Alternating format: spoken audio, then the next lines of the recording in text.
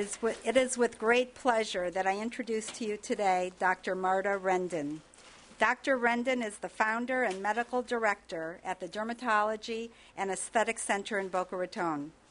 Dr. Rendon is board certified in both dermatology and internal medicine. She is the former chief of dermatology at the Cleveland Clinic. She has been voted Professor of the Year at the University of Miami. She is the past president and founder of the American Society of Cosmetic Dermatology and Aesthetic Surgeons. She is a physician teacher who teaches other physicians on the latest cosme- cosmetic dermatology procedures. At Boca Raton Community Hospital, she holds the distinction of drawing the largest audience that we have had in the past 10 years for her lecture on female hair loss. We welcome Dr. Rendon as she educates us on this serious topic and, of course, timely one of sun safety in Florida for all of us who love the sun and love Dr. Rendon.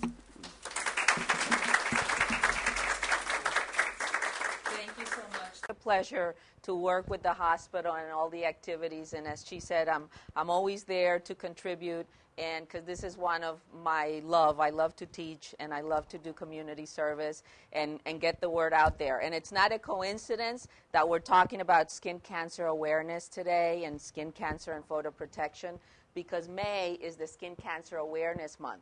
And the same thing I'm doing here today, there's hundreds of dermatologists all over the country developing and creating community outreach programs to teach about skin cancer and photo protection. And we're going to talk about when you leave this morning, I want you to at least be aware. You're going to learn about the types of skin cancer. You're going to learn what we do with those types of cancer. And more important, we're going to talk about photo protection, and one of the topics that for all of you should gain a lot of importance is the whole tanning beds and what is the government doing about it, what is the American Academy of Dermatology doing about it, because it has become a big issue in, in, uh, in our culture now. So why is it important? Why is it important that we learn about skin cancer and learn to recognize moles, learn to recognize different lesions in your face? Well, one of the reasons is because one in five Americans develop skin cancer. So we have a group here. One out of five of you is going to develop skin cancer. It's a reality.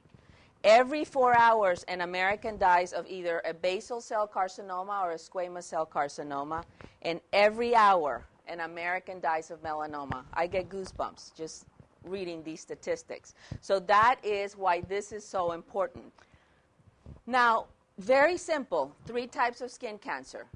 The one that we worry about because it's the one that actually kills people is the melanoma. Melanoma is the bad word. Squamous cell carcinoma and basal cell carcinoma are completely curable. They're surgically removed, and if we catch them early, it's not a problem.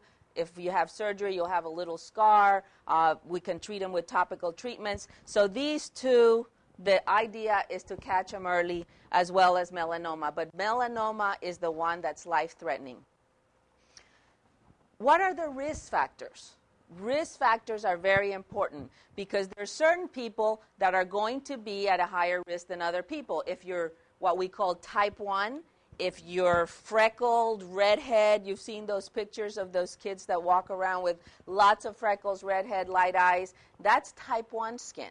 And those people with lighter skin complexion have a higher risk of developing skin cancer at some point in their lives. So, for your children and your grandchildren, you have to teach them sun protection because we develop skin cancer due to the lifetime exposure to the sun. So that's why it's so important. Light skin color, the amount of sun exposure that you get throughout your lifetime. I see patients that are in their 50s and existing. They say, "No, I don't. I don't go out anymore. I wear my sunscreen, my hat." I said, "Tell me what happened from when you were one till you were 20."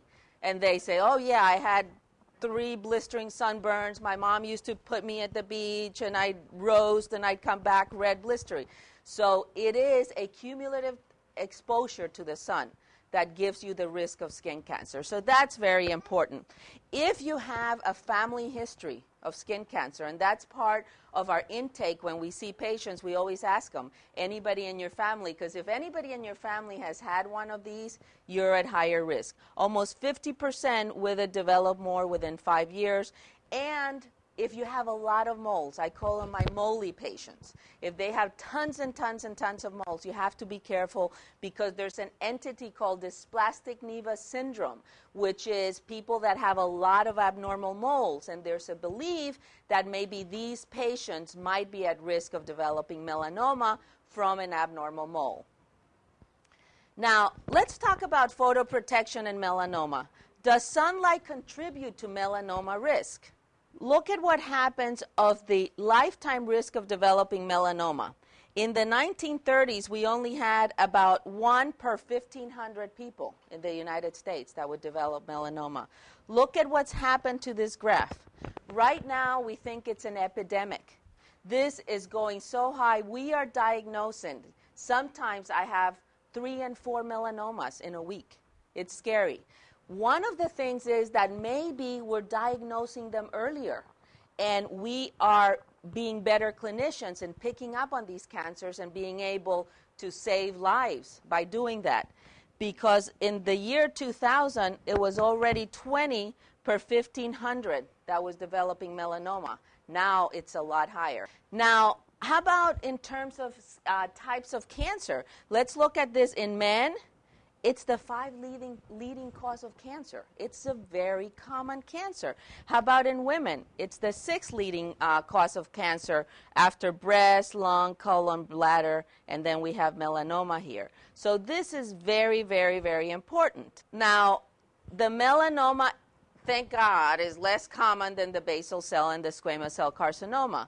Almost 100,000 cases per year and more aggressive and like we mentioned, 8,000 uh, 8, deaths early. Now, this is a common cancer, and if you see, I mean, you every time a famous, uh, either a movie star or a political figure gets skin cancer, the media picks up on it, and my phone doesn't stop ringing because that alerts people that you know this is a common issue. So uh, we see he's had a lot of problems with his skin. He's got a lot of skin cancer, and uh, how do we? This is what I want you, out of everything that you hear today, this is what I want you to remember. The way we diagnose melanoma is very simple. We call it the ABCD, which means asymmetry, border, color, and diameter. Okay, when you look at a mole, first of all, you want to see if that mole is symmetric or not. If you were to cut the mole in half, like this one, both sides are symmetrical. If it has an asymmetrical shape, that's one of the things that makes us uh, be suspicious about skin cancer. The border, nice even borders versus uneven edges and uh, uneven borders. That's also significant. The third thing, color, an even shade, an even color. That's